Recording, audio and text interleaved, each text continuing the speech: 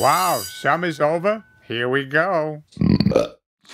All right, another year, another batch of fifth grade head cases. I tell you what, one kid calls me Lizzie this year, I quit. Just don't pee in my lettuce bowl, and we'll be all right. I don't know, I got a feeling this year's gonna be different. Something big's gonna happen.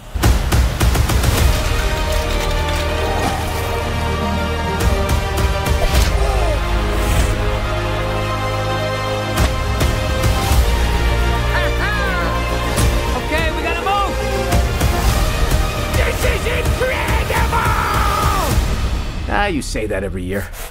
Could you not do that on my pillow? I'm a lizard. Ugh. That's good. Don't dignify it.